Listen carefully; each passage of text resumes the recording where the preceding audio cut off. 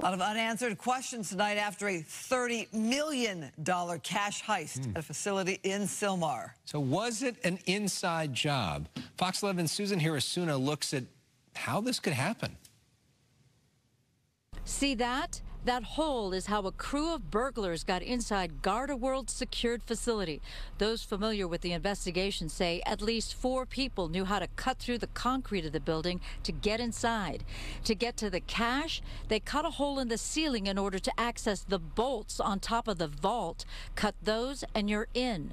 GardaWorld offers cash management for retailers and other businesses. Bills in all increments and coins were taken, totaling over $30 million. People who know security describe the kinds of systems that should have kept all that money safe.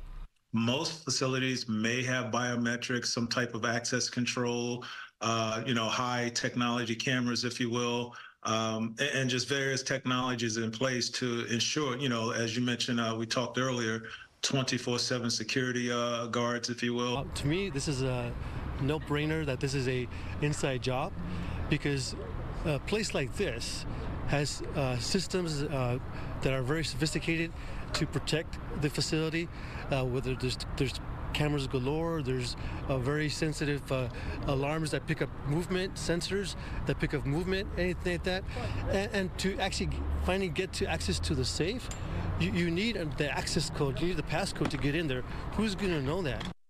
According to our sources, there were alarms that went off at the building, but it took a while for LAP to respond to find out how the thieves gained access to the building and to find the missing money. By then, the crooks were long gone. In Sylmar, Susan Hirasuna, Fox 11 News.